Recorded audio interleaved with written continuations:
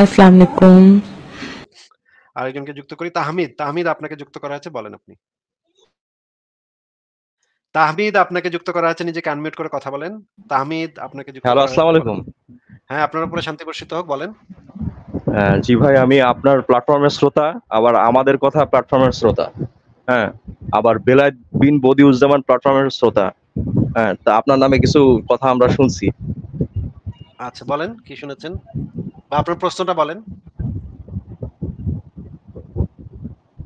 তারা আসলে অনেক উল্টাপাল্টা কথা বলে আপনারা নিয়ে। বলুক এটা তো বলবেই সেটা তো আমার কিছু যায় আসে না। আপনি বলেন আপনার কোনো প্রশ্ন থাকলে আপনি বলেন।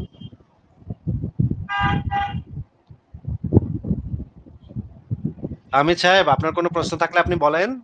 ভাই এত তো সময় নাই ভাই।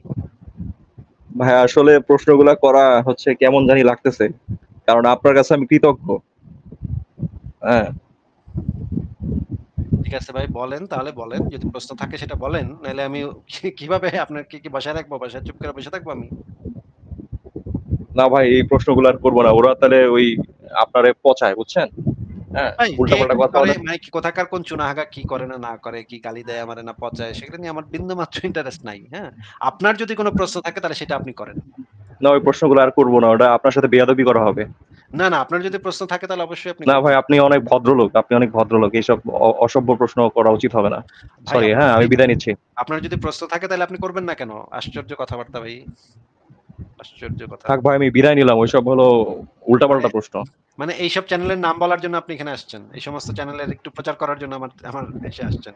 ওই সমস্ত চ্যানেলে কাকেও পায়খানা করে না গিয়ে আপনি আমার চ্যানেলে এসে তাদের চ্যানেলগুলোর নাম বলে দিলেন যেন পাবলিকে দেখতে যায়। এই এই হচ্ছে পলিসি না না এটা না। ভালো বিজনেস স্ট্র্যাটেজি বের করছেন তো আপনারা। ভালো তো এটা তো মানে ভালো চমৎকার। ভালো লাগছে বিষয়টা। আপনার যারা শ্রোতা আছে তাদের তারা চাইলে ওই প্ল্যাটফর্ম থেকেও কিছু শুনতে পারে। তারা তো আপনার ভিডিও ডিবাং করে। এই যে যে আপনি ওই চ্যানেলের প্রচার করতে আসছেন তাই না? মানে আপনার ভিডিও নিয়ে তো তারা ভিডিও বানায় লাইভ করে। আপনি তো ওদের লাইভে যান না। ওদের এই সমস্ত চুনাহাকাদের লাইভে আমি কেন যেতে যাব ভাই? কি আশ্চর্য কথা। এই যে আপনার জন্য দরজাটা খোলা না আপনি ঢুকতে পারছেন না? হ্যাঁ। তাইলে তারাও তো আমার লাইভে ঢুকতে পারে নাকি? হ্যাঁ। পাঁচজন নিয়ে লাইভ করার থেকে আমার লাইভে এসে কথা বললে তারা হাজার হাজার মানুষ শুনবে তাই না? হ্যাঁ হ্যাঁ। তাহলে তারা যদি পাঁচজন নিয়ে লাইভ না কইরা ওই লাইভ কে দেখে ভাই? নিজেরা নিজেরাই দেখে। এমন সব এমন মাঝে মাঝে নিজেরাও দেখে না নিজেদের লাইভ ভিউ থাকে পাঁচজন। ওই ওই লাইভে তারা কথা বলে লাভ কি? এগুলো তো কেউ দেখেই না। আমার লাইভে এসে বলতে পারলে এই যে আপনি আমার লাইভে আসছেন এখন যদি প্রশ্ন করতে পারেন তাহলে এখন একটা লাভ আছে যে আমার দর্শকরাও দেখবে হাজার হাজার মানুষ দেখবে ইউটিউবে থাকবে ভিডিওটা পরবর্তীতে আরও কয়েক হাজার মানুষ দেখবে এইটা তো একটা ফায়দা আছে। ওইখানে চিপা চাপায় মানে টঙের দোকানে বসে বসে লাইভ করা তো লাভ নাই। কে দেখে এগুলা? হ্যাঁ। নিজেরাই দেখে না।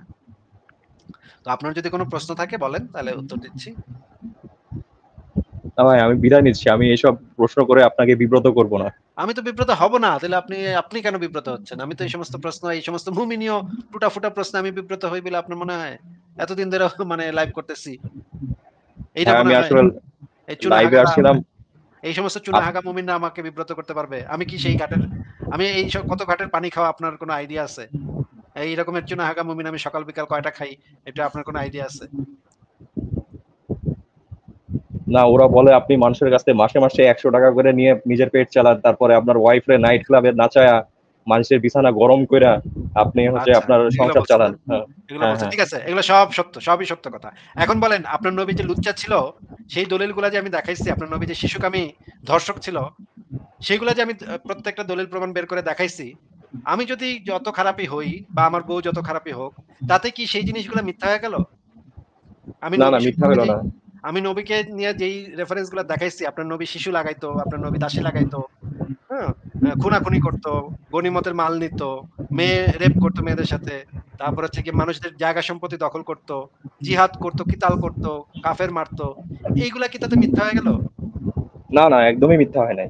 তাহলে তো তাহলে তো মানে আমি কি আমারে আমি মনে করেন আমি খুব খারাপ লোক হ্যাঁ? আমার পুরো পরিবার খুবই খারাপ। তাতে কি গেল আসলো ভাই? তাতে কিছু গেল আসলো না তো। আমাদের আলোচনার বিষয়বস্তু তো আসিফ মহিউদ্দিন না। আমাদের আলোচনার বিষয় হচ্ছে ধর্ম। ধর্ম কতটা খারাপ, ধর্ম কতটা জঙ্গি, ধর্ম কতটা বর্বর? সেটা যদি আমি প্রুফ করতে পারি তাহলে তো মাশাল্লাহ আল্লাহ আমাদেরকে সবাইকে হেদায়েত দিবে তখন। তাই না? ভাই ওরা আরও বলে আপনি বাটি ফেলায়া সারাদিন মদ খান। হ্যাঁ, মদের হ্যাঁ, উপরে থাকেন সারাদিন। সারাদিন মদ খায়। হ্যাঁ, ঠিক একদম ঠিক কথা। গাঁজা তারপর হেরোইন এগুলাও আছে সাথে। সব একসাথে খাইতে থাকি। কিন্তু আমি যে দলিলগুলা দেখাইছি সেগুলা কি তাতে মিথ্যা হয়ে গেল? না, না মিথ্যা হয় নাই। তাইলে? তাইলে তা আমি যদি সেগুলা করিও তাতে কি কি গেল আসলে? এটাতে কি প্রভাব ফেলতেছে? আমার যুক্তিতে সেটা কি প্রভাব ফেলতেছে? আমার যুক্তিটা কেন ভুল? না ভাই এইসব কথা কি আসলে সত্যি? ওরা যেগুলো বলে? সব সত্যি। যা বলে সব সত্যি। এখন আপনি বলেন যে এই আমি যে রেফারেন্সগুলা দেখাইছি, যে যুক্তিগুলা তুলে ধরছি সেগুলা সঠিক নাকি ভুল সেটা বলেন। না সেগুলো সঠিক। তো হয়ে গেল। তো আমি আমি দিচ্ছি তাহলে। কিন্তু আপনার চরিত্রে তো দাগ লাগল। আমার চরিত্রে দাগ লাগানো অসুবিধা কি? আমি এগুলা এ ২ পয়সারও পাত্তা দিই না। ভাই আমি তো এই মুমিনদের বোনেরে বিয়ে করতেছি না। তাই না? আমার চরিত্রে দাগ হইলেই তাদের কি? আর দাগ না হইলেই তাদের? হ্যাঁ। আপনিও তো আমার আপনার বোনের আমার সাথে বিয়ে দিচ্ছেন না, তাই না? মনে করেন আমার চরিত্র খুবই খারাপ। তাইলে আপনার বাপের কি? তাই না? হ্যাঁ, হ্যাঁ।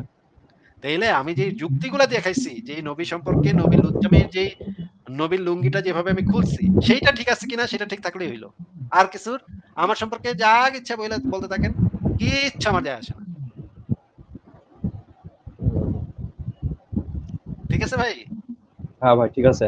আপনাকে আসলে আমি এই কথাগুলো বলতে চাই নাই। ওই ফার্স্ট ভাবছিলাম যে কথাগুলো ডাইরেক্ট বলব। পরে চিন্তা করলাম আপনি এত ভদ্রলোক। আপনার কাছে এগুলো প্রশ্ন করা উচিত হবে না। ঠিক আছে। ঠিক আছে আপনাকে সব আমি আজকে স্বীকার করে নিলাম। আপনি একটু কাইটা মুমিনদেরকে দিয়ে দিয়েন। যে সব স্বীকার করে নিল আসিফ মহিউদ্দিন সম সবচাইতে বড় খারাপ সে। সব মদ, গাজা সব খেতে থাকে সারাক্ষণ বেশা, বেশা। কিন্তু সাথে এটাও সত্য যে সে দলিলগুলা যেগুলা দেয়, যুক্তিগুলা যেগুলা দেয় সেগুলা সঠিক। এটাও বলে দিন তাহলে আমি তারা যদি এটা মাইনা নেয় তাহলে আমি আমিও ঠিক আছে। কোন সমস্যা নেই। তারা আমাকে গালিগালাজ করে দেক। কোন সমস্যা নেই। ভাই ওই কথাগুলো শুনতে আপনার নামে বদনাম শুনতে মজাই লাগে। মা আমারও মজা লাগে। মাঝে, মাঝে আমিও শুনি গিয়ে।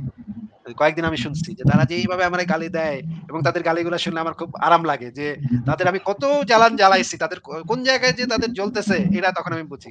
তারা আমারে যত গালি দেয় তত আমি বুঝি তাদের জ্বলুনিটা তাদের কোন জায়গায় লাগছে সেটা আমি বুঝি। আপনার নাম যেভাবে তারা বিকৃত করে, হ্যাঁ, ওটাও খুব মজা লাগে। ওটা আর বললাম না। এবং তারা দুইজনের নাম সবচেয়ে বেশি নেয়। আল্লাহ এবং আসিফ। ঠিক আছে? জিকির করে আমার নামে জিকির করে। বিষয়টা ভালো। আমার ভালো লাগে। ঠিক আছে তাহলে আজকে বিদায় জানাই। তাহমিদ সাহেব আপনাকে। ঠিক আছে ভাই থ্যাংক ইউ। আচ্ছা। ভালো লাগল আপনার সাথে কথা বলে। ঠিক আছে বিদায় জানাচ্ছি। ভালো থাকেন। মানে মুমিনরা কি বলে তাতে কি যায় আসে? আমার সম্পর্কে কি বলল না, না বলল আমি এগুলা ২ পয়সার কেয়ার করি। দুই ২ পয়সার আমি মূল্য দেই। ঠিক আছে পরের জনকে যুক্ত করি।